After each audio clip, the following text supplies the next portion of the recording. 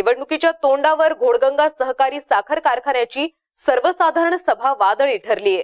आमदार बाबूराव पाचरणे आणि माजी आमदार अॅडव्होकेट अशोक पवार यांच्यात यावेळी शाब्दिक युद्ध रंगल्याचं देखील पाहायला मिळालंय. तसेच पाचरणे आणि पवार यांच्यात माईक वरून झटापट देखील झाली या वादळी सभेची चर्चा सध्या शिरूर तालुक्यात पाहायला मिळतीये.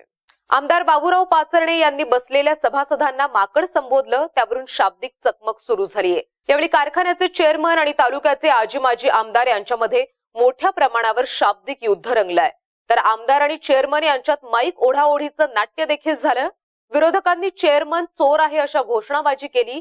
तर आमदारांनी भर सभेत एकाला माकड म्हटल्यावर वातावरण चांगलंच तापलं होतं.